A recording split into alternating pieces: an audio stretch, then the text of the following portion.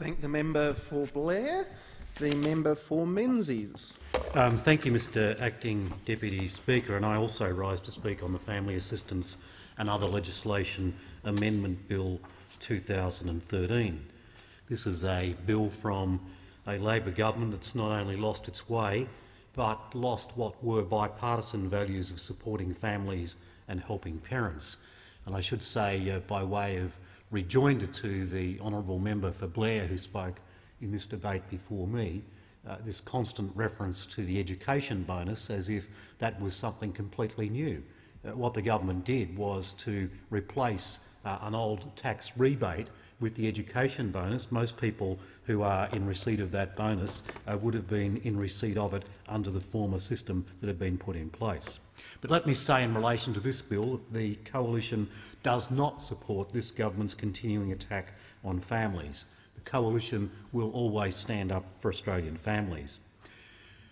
What this bill seeks to do, Mr uh, Acting Deputy Speaker, is to bury a change to the baby bonus with a range of other measures. So I will concentrate on what is the most significant part of this proposed legislation, namely the changes to the baby bonus. Because this bill seeks to implement Labor's change to the baby bonus announced in the 2012-13 mid-year economic and fiscal outlook. The amount of the baby bonus for second and subsequent children who come into a family from the 1st of July of this year will be reduced under this bill to $3,000. This change uh, will generally apply regardless of whether the child is born into the family, adopted by the family or entrusted to the family's care within 26 weeks of birth, for example, under a foster care arrangement. The baby bonus will continue to be paid at the rate of $5,000 for the family's first child and for each child who comes into the family in a multiple birth, adoption or entrustment to care situation. Now let's put this in context. The baby bonus was introduced by the Coalition in 2002 for the purpose of raising Australia's declining fertility rate. This was a direct policy as a result of the intergenerational reports which were instigated by Peter Costello when he was the Treasurer. And what those intergenerational reports pointed out, that in terms of the continuing economic growth of this nation, then we had to concentrate on three things, on population, on participation and on productivity. Labor has indeed repeatedly slashed the baby bonus in attempt to find savings. In the 2009-10 budget, Labor paused the indexation of the upper income limit of the baby bonus, fixing the income threshold at $75,000. In the 2011-12 mid-year financial and economic update, Labor paused the indexation of the baby bonus payment until 2014-15 and reduced the rate of payment from $5,437 to $5,000 per child. And what's interesting about this is even the language which the government uses about the baby bonus. This, as I said, was introduced as a measure to try and ensure that we retain somewhere close to a replacement fertility rate in Australia. Why was that important? Because Australia, like many other countries around the world, has been gradually suffering a declining fertility rate. If you don't have people, then you don't have the people to do the jobs that we're crying out for in this country at the present time. And if you don't have people, then you actually negatively affect the growth rate, the economic growth rate of the nation. And indeed, a whole series of historical studies have shown that at least a quarter of national economic growth, not just in Australia but elsewhere around the world, at least a quarter of national economic growth comes from population growth itself. So if your fertility rate is declining, if your population growth through natural means is declining, then that's going to have an impact at some stage on the economic uh, development, the economic prosperity, the economic growth of the nation. So this was a measure which was introduced to deal with that specific issue of fertility. But now when we hear the Labor Party discuss it, they talk about it in welfare terms, and they treat it like welfare, and uh, indeed not only treating it like welfare but actually making these cuts. Now, following the cuts that I've previously uh, indicated were made by the government, we warned that changes would further limit choice for mothers, particularly those who wish to stay at home either for a short or temporary period of time or for a period of time when their kids were growing up and going to school uh, and raise their children. The reality is that Labor is ideologically opposed to stay-at-home mums. For some reason they've decided that mums shouldn't have a choice and should just go back to work or enter the workforce after having their baby. That flies in the face of the practical experience of so many families in Australia. The common income in Australia is one and a quarter to one and a half jobs, where one partner, maybe the male, maybe the female, is working full-time and the other is working in a part-time uh, or casual basis. And what families decide to do is to make arrangements over their life course as to their work and family arrangements. So let's be clear about why the government wants to slash this payment. The baby bonus slash and burn exercise is expected to provide savings of $505.9 million over the four years from 2012-13 to 2015-16. $505.9 million is therefore going to be taken from the pockets of Australian families, particularly those families which are having children uh, under this measure. That's half a billion dollars being ripped away from Australian families by this particular measure. This is nothing more than a cynical and cruel attack on families simply to help the Treasurer, and Mr Swan, make their burgeoning black hole smaller. A desperate measure of ripping half a billion dollars from Australian families in order to do something towards trying to provide a surplus, which of course will never be delivered by this government. Now, it's often claimed that generous provisions that enable women to enter and remain in the paid workforce contribute to higher fertility levels.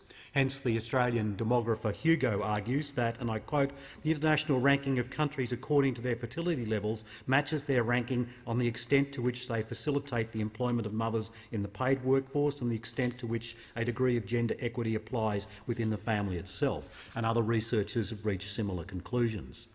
If one goes back and looks at declining fertility over the past century, beginning in the 1930s, Sweden introduced policies that enabled women to maintain their position in the paid workforce whilst having children. In the 1980s, the fertility rate climbed to just over two, leading some commentators to conclude that the reversal was due to the cumulative impact of public daycare, child benefits, parental leave, parents' rights to work part-time and other measures. These views were reinforced as female labour force participation soared to 81 per cent and the birth rate rose above replacement levels. But the growth was temporary, falling to the lowest rate ever for the country of 1.52 by the end of the century. Looking at the case of Sweden, it would appear that the birth rate related to the economic cycle and the impact of the so-called speed premium, whereby parents were entitled to the same income replacement for a second child born within 30 months of their first, irrespective of the level of income between the two births. The policy, therefore, would, would appear to have resulted in births being brought forward rather than a permanent increase in the number. So it remains important to promote public policy outcomes that boost fertility rates. Prior to the baby bonus being introduced, the fertility rate in Australia had fallen to less than 1.9 uh, children per woman. Uh, it requires uh, over two, uh, in round figures 2.1 births per woman, just to simply maintain a birth rate, to maintain a replacement birth rate for the population. So policies such as the baby bonus, along with other policies that were introduced by the Howard government, are critical to encouraging fertility. And our public policy should seek to maintain at least a replacement birth rate. People sometimes say, well, if you don't have a replacement birth rate, uh, then you can make up for it by way of immigration. But the problem with immigration in terms of fertility or your overall population, your birth rate, is that the average age of immigrants that come to this country are about the average age of the population, and so they age along with the rest of us in this country.